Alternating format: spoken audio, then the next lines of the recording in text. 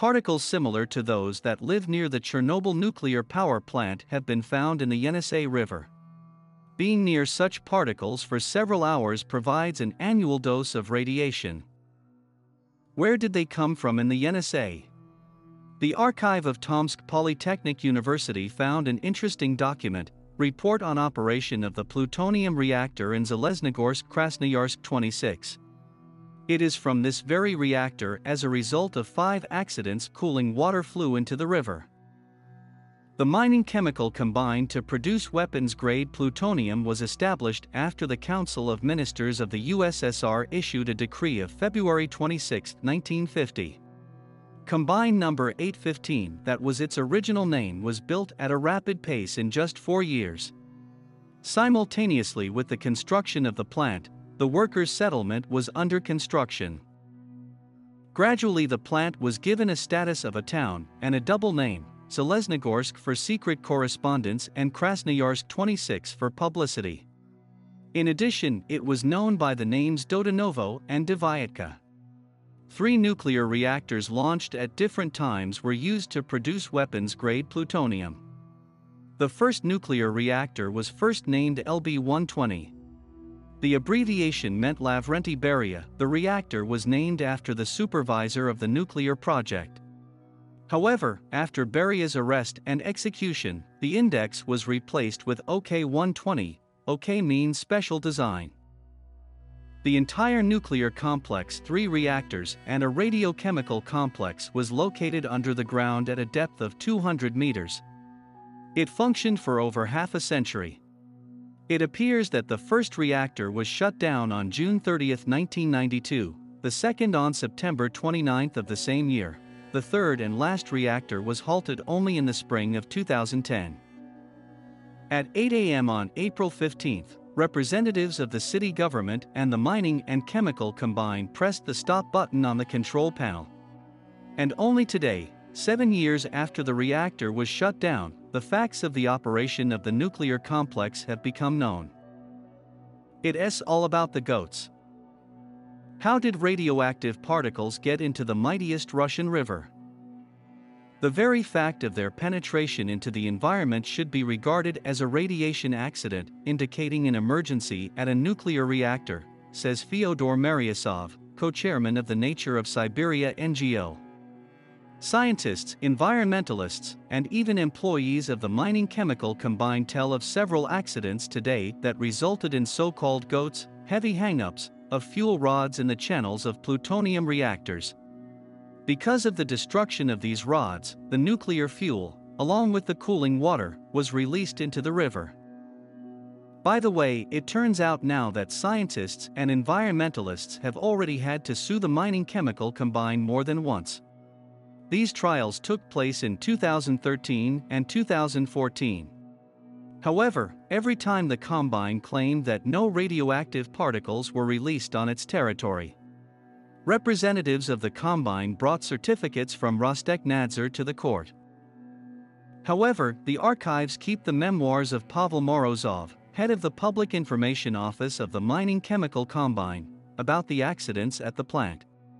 They reveal details of the events that for many years were considered secret all the way back to the Kara Sea. According to the recollections, accidents started already in the first years of operation of nuclear reactors, which resulted in radionuclides getting into the Yenisei. Even back then, according to scientists, the Yenisei was contaminated with radionuclides for 1.5 thousand kilometers up to the Kara Sea. All in all, there were at least five accidents, according to other data, there could have been seven.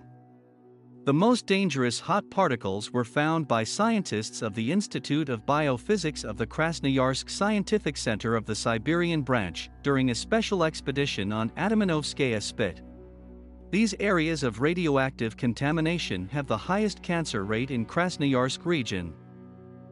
Although 16 years ago the mining chemical combine started liquidation of liquid radioactive waste storage, accumulated as a result of many years of weapons-grade plutonium production these measures did not help to solve the problem of hot particles in the Yenisei.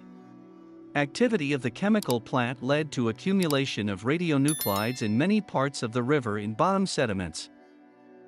In addition, apparently, there were several emergency discharges of water which cooled the reactors in operation.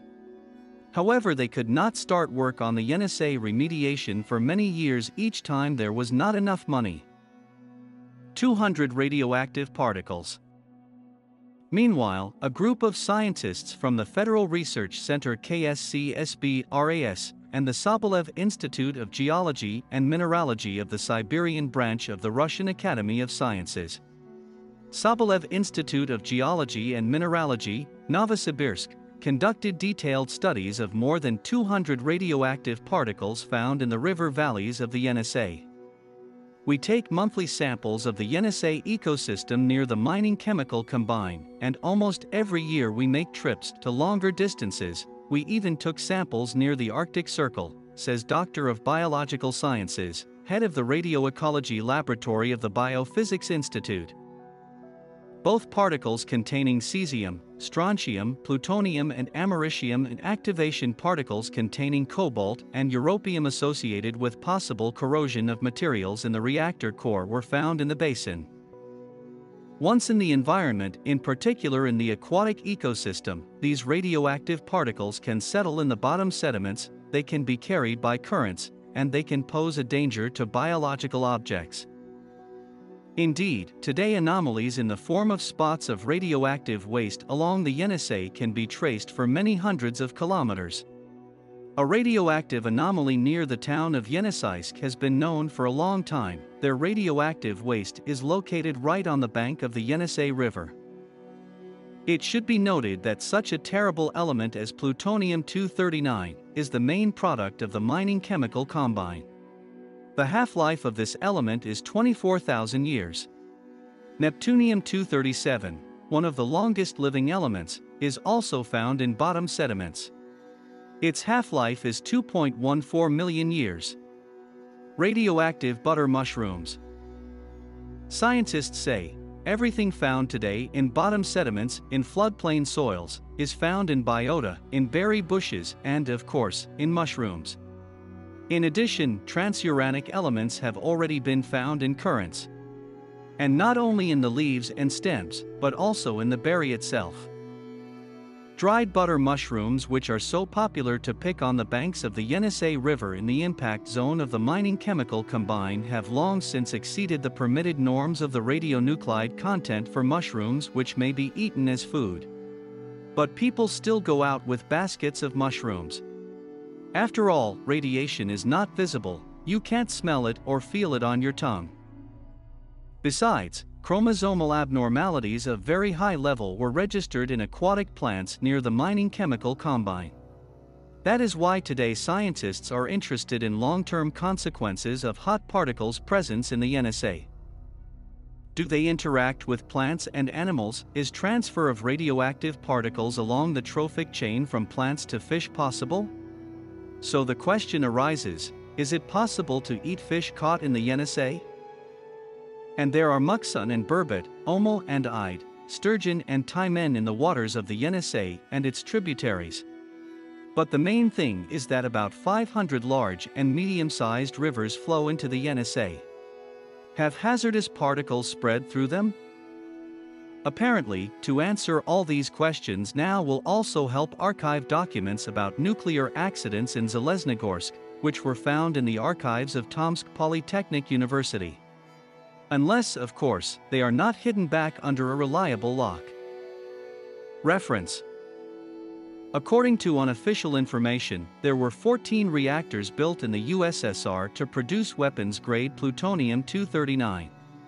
6 at present PA Mayak, Ozyorsk, Chelyabinsk Oblast, 5 at the Siberian Chemical Combine in Tomsk 7, closed administrative territorial entity Seversk, and 3 at the Mining Chemical Combine in Zheleznogorsk, Krasnoyarsk territory. This is the only plant that has been completely hidden underground. Subscribe to the channel and share this video with your friends. Give it a thumbs up. Write in the comments about what else interesting you can tell about this video. See you in the new video.